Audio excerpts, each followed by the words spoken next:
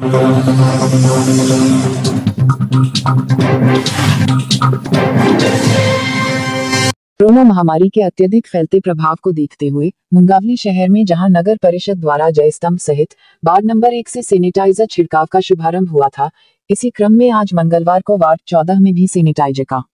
पूर्ण रूप से मदीना बहादुरपुर रोड के आसपास के मोहल्ले, गलियों मकानों पर छिड़काव किया गया। वार्ड चौदह में ही मदीना कॉलोनी के मकानों सहित मस्जिद और खड़ियापुरा के मकानों को भी सैनिटाइज किया गया। सैनिटाइजर का छिड़काव प्रभारी राशिद खान के निर्देशन में किया गया, जहाँ विशेष सहयोगी कर्मचारियों में प्रमुख रूप से लल्लू पथरोल, मोहित चिंडारिया, करण सियोते, आकाश पवार एवं वही वार्ड चौदह के निवासियों में मराठा विष्णुराम मोरे संतोष कुमार पाठक, रामवीर सेन, बबलू खटीक रहीश खान टेला आशिफ खान, लालू राम पंथी सिराज खान आदि भी उपस्थित रहे।